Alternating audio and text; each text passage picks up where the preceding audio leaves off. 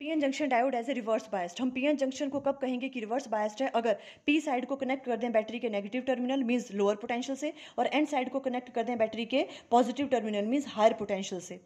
अब due to this negative charge जो यहाँ पे नंबर ऑफ़ होल्स होंगे, वो इस डायरेक्शन में मूव करना स्टार्ट करेंगे और यहाँ पे जो नंबर ऑफ़ इलेक्ट्रॉन्स हैं due to this positive charge वो इस डायरेक्शन में मूव करना स्टार्ट करेंगे, जिसकी वजह से जो विर्थ डिप्लीशन लेयर की, वो इंक्रीज हो जाती है। अगर पहले इतनी थी तो बाद में इतनी हो जाएगी। आप इस चीज़ को ऐसे भी अंडरस्टैंड कर सकते हो। देखो, जब पीएन जंक्शन डायोड फॉर्म्ड होता है तो यहाँ पे बैरियर वोल्टेज बिल्टअप हो जाती है। अब उसमें देखो इलेक्ट्रिक फ़ील्ड की डायरेक्शन कहाँ से कहाँ होगी? इस डायरेक्शन में और जो हम अप्लाई कर रहे हैं वोल्टेज उसमें भी इलेक्ट्रिक फ़ील्ड की डायरेक्शन कहाँ है? इसी डायरेक्शन में।